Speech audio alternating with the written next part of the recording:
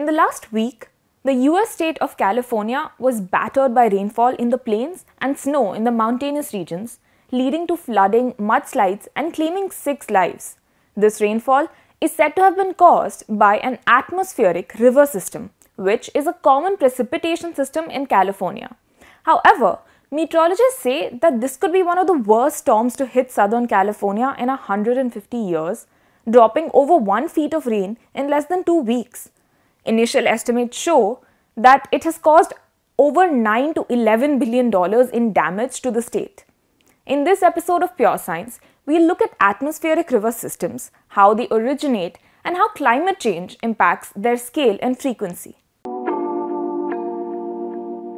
Atmospheric rivers are narrow stretches in the atmosphere that carry water vapor from the tropics to the poles. They are called rivers in the sky by the National Ocean and Atmospheric Administration website of the US government. They are called this because of the huge size and the huge amount of water vapor that they carry. They are also known as cloud bands or tropical plumes. They were first analyzed in 1992 by Ari Newell, who studied the 2000 kilometer long and 300 to 400 kilometer wide cloud bands in his now seminal study. He called them tropospheric rivers because of the layer of the atmosphere where they are found. On average, these warm tropical cloud bands carry the same amount of water that flows at the mouth of the Mississippi River, which is one of the largest rivers in the United States.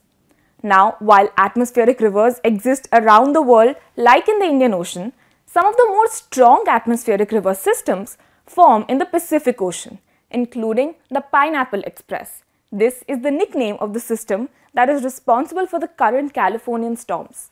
It is named so because it originates in the Pacific Ocean near Hawaii and travels to the west coast of the US. As the water vapor carrying river system reaches California, it encounters the mountains and starts to cool down, lashing its rains over the state. This process is called orographic lifting of the atmospheric river systems. Now, atmospheric river systems are actually quite useful for rainfall and they account for over 40 to 50% of the annual precipitation in the west coast of the United States.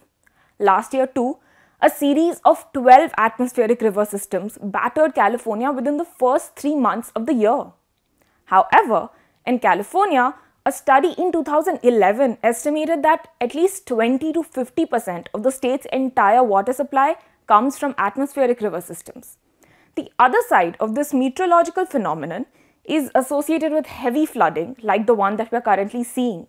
And this year, because it's an El Nino year, also contributes to the extreme levels of precipitation due to the Pineapple Express.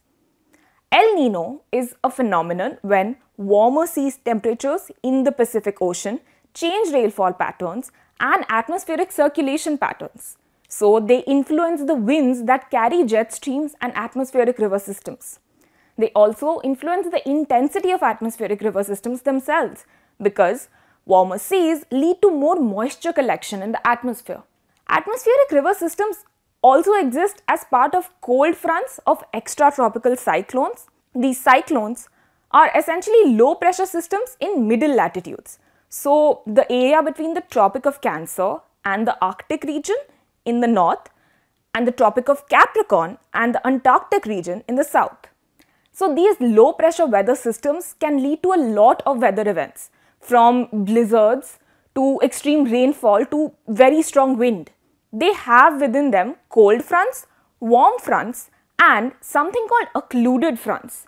An occluded front is when a stream of warm air gets caught between two streams of cold air. Atmospheric river systems are usually part of the cold fronts of extratropical cyclones and they mainly form during the winter season of whichever hemisphere that they are, a part of. When they interact with land, especially rocky terrain like mountains, they cause the most precipitation. The role played by atmospheric river systems in destruction is not limited to California. A study published last year in Communications Earth and Environment Journal looked at the total amount of rain and flooding caused by atmospheric river systems from 1951 to 2020 in India. The study found patterns that showed that while peninsular India experienced atmospheric river systems during the summer monsoon, the northern plains had atmospheric river systems during July to August. There were a total of 596 atmospheric river systems logged in India in this period and a whooping 65% of them were associated with causing some sort of flooding.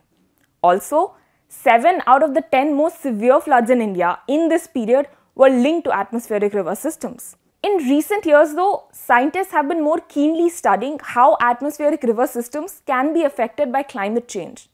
The most obvious way is that as the climate warms up, there will be more moisture collected in the atmospheric river systems. This is because of something called the Clausius-Clapeyron equation in thermodynamics, which is used to understand phase transitions like the transition of a substance changing from the liquid phase to the vapor phase. Let's break this down. This equation explains how an increase in temperature leads to molecules of a substance like water getting more energy. With this energy, the molecules can break free from the liquid phase to the vapor phase and thus increase the pressure exerted by the water vapor. So, as the temperature of the earth increases, the atmosphere becomes warmer and more capable of holding moisture, which is water vapor. This equation has been attributed by scientists and meteorologists to understand how climate change and global warming will lead to stronger and more intense atmospheric river systems.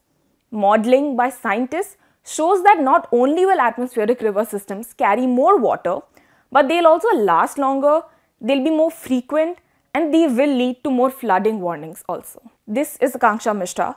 For more such analysis, follow the print on our social media platforms.